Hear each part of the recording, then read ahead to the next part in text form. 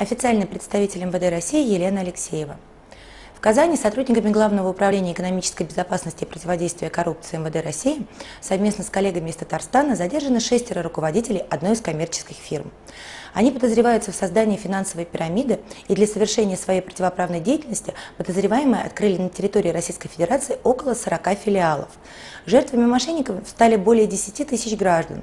Общая сумма ущерба составила свыше 100 миллионов рублей.